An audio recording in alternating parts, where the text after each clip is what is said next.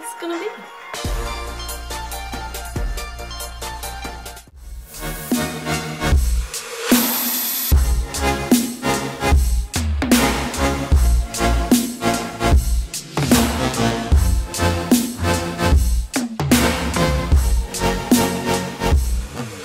Alright, so to start off, I'm going to be using my uh, Hourglass Veil Mineral Primer all over my face, and I'm just going to blend that in.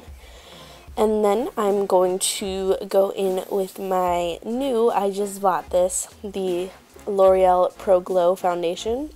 And this was a little too light for me, and so I just kind of had to work with it. I I used a lot of bronzer, um, but it's okay. So I'm just blending that all in with a beauty blender.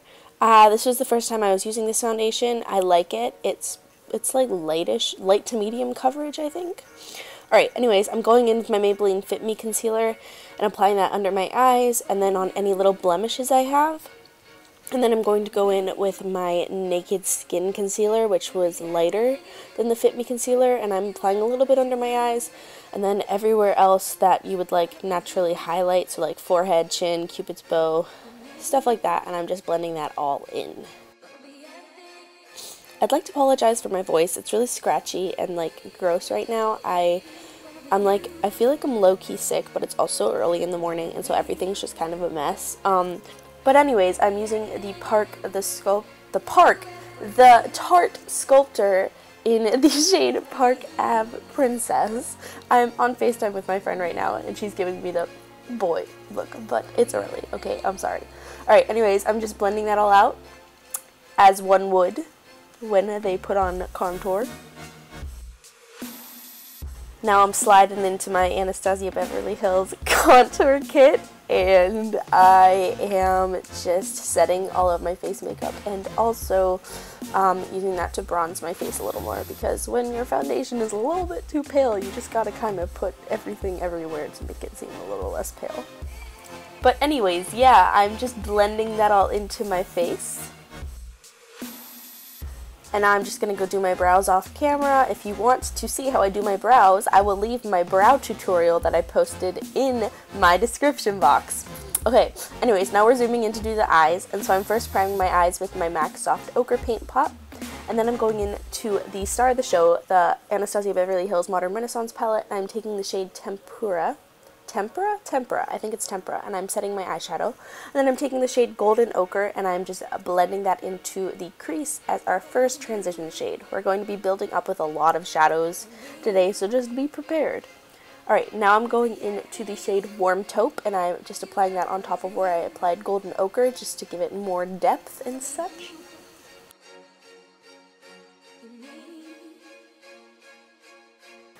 And next I'm going into the shade Raw Sienna, and I'm applying that on a different brush. It's slightly smaller, and I'm just also applying that into the crease a little bit lower.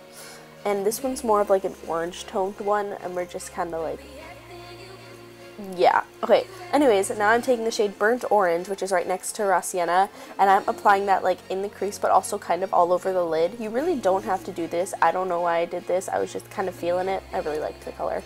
Anyways, now I'm going back in and taking the shade Realgar and I'm taking that on an even smaller blending brush and I'm just applying that into the crease just to give it a little bit of like an orangey feel because if you couldn't tell by the last two colors we're kind of we're kind of going in that direction today. And then I'm just taking a big blending brush with no product on it and just blending everything out so that it is flawless and seamless and gorgeous. Alright, now on a flat shader brush, I'm going into the shade Primavera, which, fun fact, means spring in Spanish. I dropped Spanish. Okay, anyways, I am taking that and applying that all over my lid just because it's gorgeous and yeah, I don't know why, why am I explaining myself? Uh, That's what I wanted to do. But anyways, now I'm taking the shades Love Letter and Venetian Red and I'm taking that on a little flat, precise brush and I'm applying that to the lower lash line and just kind of press it in there right now. As you can see what I'm doing, we're going to end up blending it out. Um, but then I'm also taking the shade Vermeer and I'm applying that to the inner third of the lower lash line and then also the inner corner of the eye just to kind of brighten it up a little bit. And then I'm just going back in with golden Primavera, not golden ochre, Primavera, and I'm just applying that onto the lid with my finger just because when we blended, the color kind of like bleh, a little bit. Alright, now I'm taking on a pencil brush Buon Fresco. Buon Fresco? I don't really know how to pronounce that. I'm sorry. And I'm just blending out the lower lash line. And then on this small brush, I'm taking some of the soft ochre paint pot and I'm applying that to my lower lash line as like an eyeliner. And then I'm setting that with the temp tempera um, um, eyeshadow. And then I'm just going in with this Smashbox eyeliner. It's a brown eyeliner, but honestly, after I applied falsies, I went back in and put black eyeliner on my um, upper lash line area. I forget the name. Um, tight line, tight line, that's what it is. I'm sorry, I'm not awake. Um, but anyways, the lashes I used were the um, Velour Fluff and Cool lashes. Alright, and now I'm just going in with this Too Faced blush. I don't know the name of it, but I'll link it in the description box, like what I'm going to do with all my products. And now I'm going in with Champagne Pop, and sadly mine broke, and it's really like fragile, but I'm still using it because it's still gorgeous and it still works. So I'm just applying that to the tip of my nose, my cupid's bow, and then like my cheekbones, anywhere you would usually highlight. And then lastly, I'm going to go in and I'm going to apply the Kat Von D liquid lipstick in the shade Lolita, and I'm just applying that to my lips to finish off the look.